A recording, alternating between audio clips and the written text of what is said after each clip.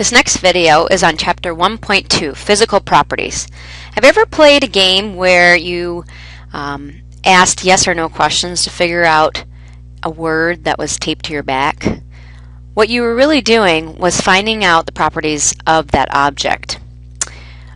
Properties can help identify and classify substances when you were asking, you know, is it large, is it small, uh, what color is it, stuff like that, those are physical properties. And a physical property is going to be a characteristic that can be observed and you're not changing it into a new substance. So if you're identifying a tree, you'll say, you know, it has green leaves, it has brown bark, you're talking about color.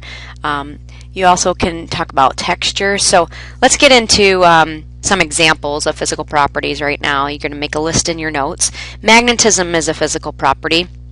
We're going to be doing a lab where we take iron and sulfur, and uh, alone, iron has um, is, mag- is magnetic. It has that property, and sulfur does not. So iron has magnetism as one of its properties and it identifies it as iron.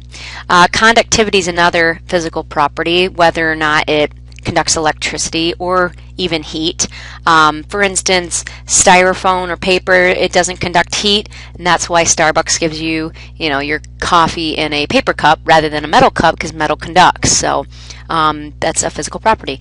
Phase of matter, what that means is, um, is it a solid, liquid, or gas? Uh, what what phase is it in? let's see, solubility is another physical property. That just means the ability to dissolve.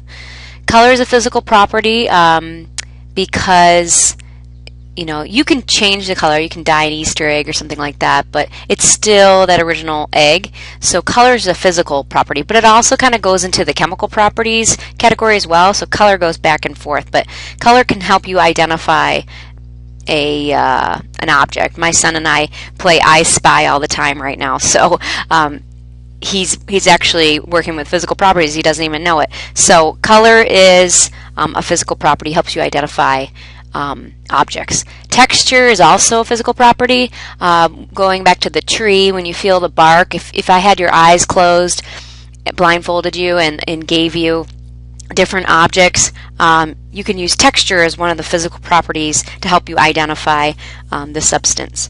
Uh, freezing and melting boiling points or melting points, those are all physical properties um, because even if you have an object that boils, like if you have water in a pan and then it boils and it turns into a gas, it's still H2O, it's just in a different form, it's in a different state of matter.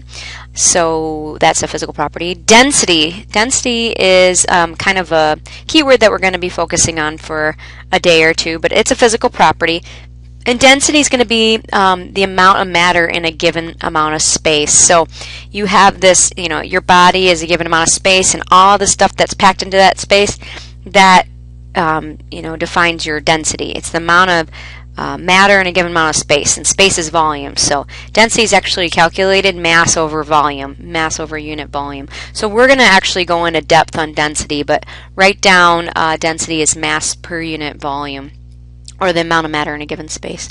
Size is also physical property.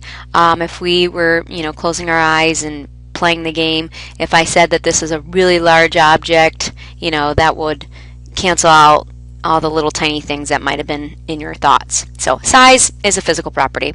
Um, and you could blow things up, like if I had a balloon and I changed the size by blowing air into it, it's still a balloon, so it's a physical property. You're not changing the what's called identity of the um, object.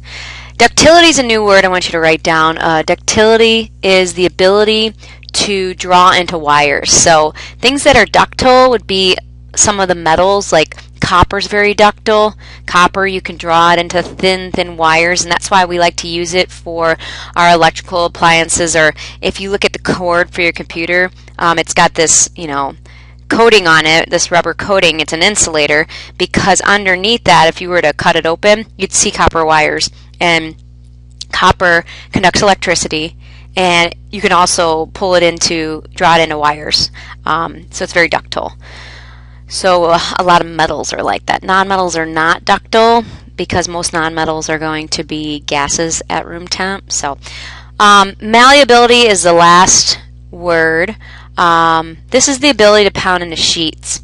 So what things would be malleable? Aluminum is very malleable. You can pound that into sheets. A lot of metals are malleable. Gold's malleable. We can make it into jewelry. Silver's malleable. Platinum's malleable. Um, all a lot of metals are malleable. Iron's malleable if you get it hot enough. So physical properties are going to help you identify matter. Uh, each of these properties are going to be unique for that object. Physical changes do not form new substances. Um, we're not going to create a new substance. They do not change the identity of the substance either. So here I have a couple of examples. When you're burning a candle, okay, your candle's getting smaller and smaller and smaller as it burns, but you're not creating a new substance as far as the wax goes. Uh, the wax is just melting, it's just changing shape. Shape is another physical property, you should add that to your list as well. Um, changing shape is just a physical change. It doesn't change the identity of the object. It's still wax as far as this candle goes. Uh, same with the aluminum can. If I were to smash it with my foot or crush it, it's just a physical change. I'm just changing the shape, um, but I'm not changing what it is. It's still an aluminum can. Far, as far as the bread goes, um, it's just a physical change when I cut it. It's still bread. Um, I'm changing the size of it, but um, just by cutting it, it's not changing it into a new substance. It's still bread. And with the butter, if I take butter and I put it in the microwave and I melt it, um, it's going from more of a solid form to a liquid form, and it's still butter. I didn't change the identity of it. Um, I just changed the shape and I changed the the state of it because it went from solid to liquid. So write all these examples down. Uh, so a cup, you know, freezing is a physical change, cutting, bending, dyeing, dyeing like Easter eggs or something like that. Dissolving things. If I take like, um, you know, Jello, Jello powder, and I heat the water up, you have to have hot water because hot water helps th- dissolve things faster. So I take the Jello powder, I put it into the hot water, and I stir it and it dissolves. Um, same thing if you put sugar into water, it dissolves. Um, the last one's melting. So all these things are going to be physical changes, and um, just remember that they don't change the identity. So we're going to be talking about physical changes a lot more as the year progresses. Thanks for watching.